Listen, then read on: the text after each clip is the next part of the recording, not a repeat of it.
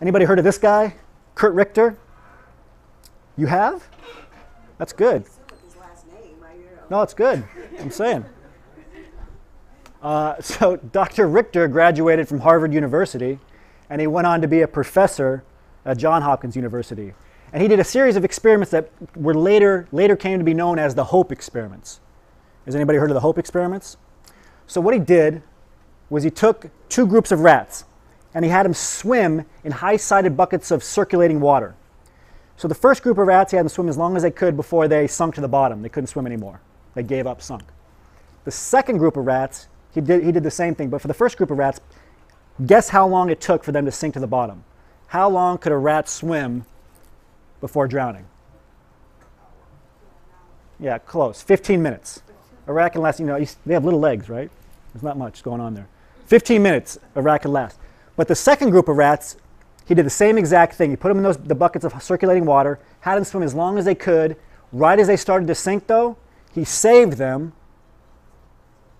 dried them off, let them rest, and then put them back into the same buckets of circulating water. Guess how long they could swim the second time? 60 hours. 240 times longer than the first group of rats. You can look it up. She doesn't believe me. Look it up. It's true.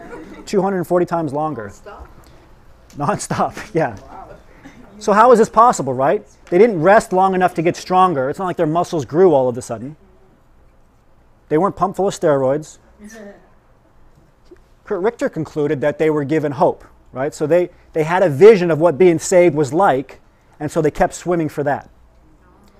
A better conclusion is they were given energy through hope. All right, let me give you a more practical example. Has anybody in here ever played a sport? This little kid's raising her hand. Good job. Anybody here ever played a sport or done any kind of working out ever? Most of the room? Okay. So if you played a sport, you've probably done sprints at some point, right? You've had to be on a line doing line sprints or a basketball court or a tennis court, whatever it might be. Your coach is yelling at you. You're sprinting back and forth. It's very tiring. You're exhausted. You don't know how much energy to save or how much en- energy to give. But then sooner or later, your coach yells out, last one, give everything. And all of a sudden, you have 10 times as much energy, right? right? You guys have all experienced this. Uh-huh. And you go, you go twice as fast as you did the second to last one. Why is that? It's because what you have in front of you is defined. The more you define what you have in front of you, the more energy you'll have to achieve it. The more you define what you have in front of you, the more energy you'll have to achieve it. Purpose equals hope equals energy.